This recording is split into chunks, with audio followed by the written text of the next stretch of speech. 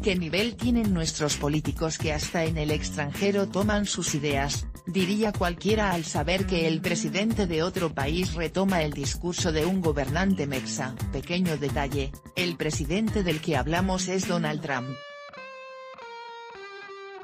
Auch, hace unos días el alcalde de Tijuana, José Manuel Gastelum, le echó leña al fuego que sus gobernados se traen contra los miembros de la caravana migrante que se han asentado en sus dominios. Les hizo el feo de manera por demás manchados, acusándolos de marihuanos, delincuentes y demás cuestiones negativas.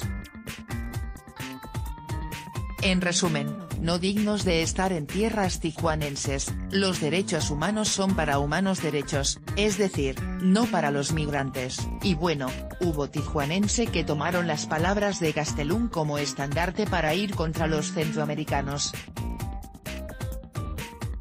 En redes se pueden checar el caluroso recibimientos que les hacen, pero ¿quién iba a pensar que el discurso del alcalde iba a llegar hasta el otro lado de la frontera, para ser retomado por nada menos que el mismísimo Donald Trump, el alcalde de Tijuana, México, acaba de afirmar que la ciudad no está preparada para esta cantidad de migrantes, el atraso podría durar seis meses,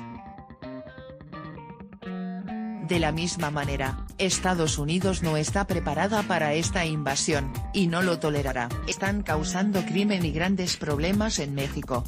Vayan a casa, escribió el republicano en su cuenta Twitter. Bien dicen que mentes geniales piensan igual, y parece que también aplica para el caso contrario. Cof, cof, en fin, la cita que Trump hizo de Gastelum fue tomada de las recientes declaraciones que este hizo para intentar mandar a la goma, otra vez, a los miembros de la caravana migrante. Como bien lo señaló Trump, el alcalde tijuanense advirtió recientemente que su municipio no tiene para sostener el impacto económico y social que representa la permanencia de los centroamericanos, pensando que estos estarán en Tijuana mínimo seis meses, en lo que les resuelven su solicitud de asilo en los Estados Unidos, y claro, pensando que si son rechazados regresarán a su país. Si tiene razón o no, ustedes lo decidirán después del debate que puedan sostener mientras se echan su cigarrillo Godínez.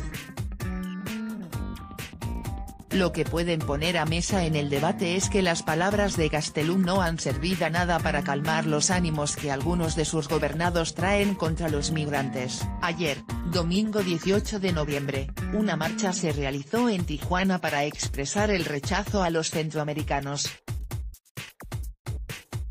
el asunto fue más allá de ir por las calles y gritar consignas, de acuerdo con Univisión, varios de los manifestantes se plantaron en las afueras del albergue de la unidad Benito Juárez e intentaron ingresar.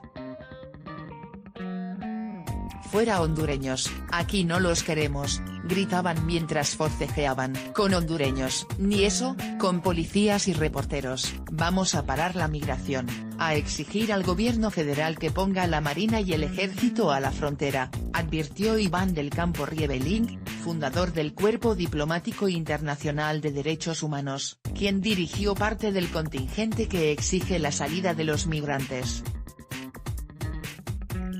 Este movimiento fue financiado por Estados Unidos, Trump les dio 5 millones de dólares para justificar el cierre de la frontera, y esto nos perjudica a todos, aseveró.